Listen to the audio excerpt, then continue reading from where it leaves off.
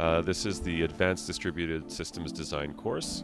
Uh, it teaches developers how to use service-oriented architecture and domain-driven design the right way because uh, a lot of people in the industry have been trying to apply a lot of these buzzwords to their projects hasn't been working out so well for them.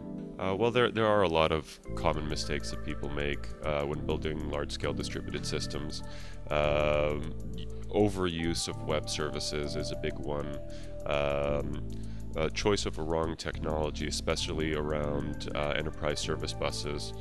Uh, a lot of times developers end up being misled by the larger vendors and ultimately left with a broker style of technology rather than a bus style of technology.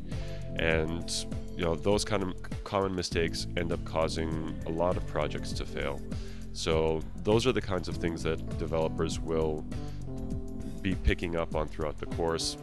Why not to do this? What's the reasoning behind it? Uh, and how to do things the right way. So not just which other technologies, but how to pick which technologies to use where, because often there'll be a mix of, of multiple technologies on a project. Well, I'd say there's a number of elements to it. One of that is uh, teaching them the better thinking skills and better analysis skills towards how to attack a new problem rather than using the traditional practices that didn't work out so well.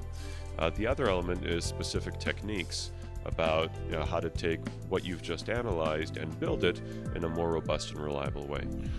Uh, I think that uh, developers are involved in building larger, more complicated systems than they have in the past, and they're kind of bumping up against the, the limits of traditional software engineering practices, object-oriented design, and that's causing a great deal of pain and frustration and complexity in their projects. So um, now's just the time to, to get people working in the right direction. Uh, I think Udi is a professional and uh, he is a highly qualified uh, person regarding uh, SOA and DDD. I think uh, Udi is a very good instructor. Um, he uh, really tries to give you, to, to, get you out of your previous mindset and to, to help you try to think out of out of the box. He is an expert in, in this area and he's yeah so he he's the source of the knowledge of SOA and everything around SOA so and uh, I think yes that's the main uh, reason why he's taking running this course Yes, absolutely, because it gives you um, a new way of thinking uh, besides uh, all the old stuff you may know, and uh, yeah, I think it's uh, um, it's a mind widener, if you will say.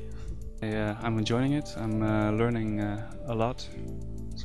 Yeah, yes, definitely. So I think it's it's good combination of both theory and uh, practical questions that you can just project uh, on your project and uh, apply in your project so far.